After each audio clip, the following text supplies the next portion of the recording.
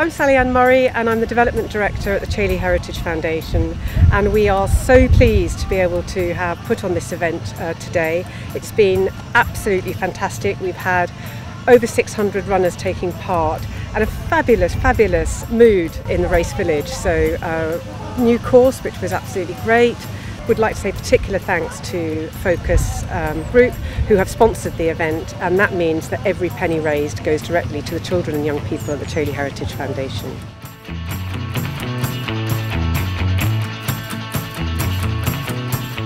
It's a hilly, it's traily, it's hard, um, but it feels like such an achievement to do it and I think that's that, yeah. yeah. that uh, when you cross that finish line, you've got all the support from everybody. That's what matters in the end. Yeah. As hard as it is on the way round, it's so it's just such a sense of achievement.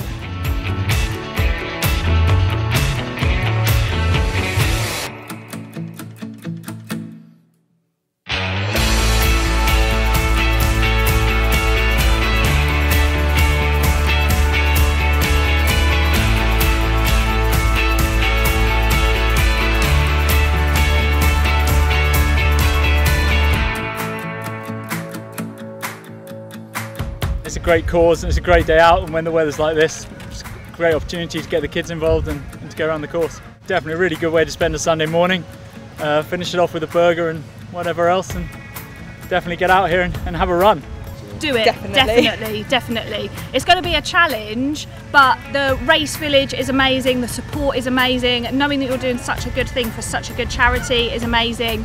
And if you're used to just doing road running, which is what we tend yeah. to do, this is just something different. So it's another challenge on top. I just do it because it's great. We've got a date for next year already, 31st of May 2020. Uh, so sign up and uh, take part in what I think is becoming slowly one of the best 10k events in Sussex.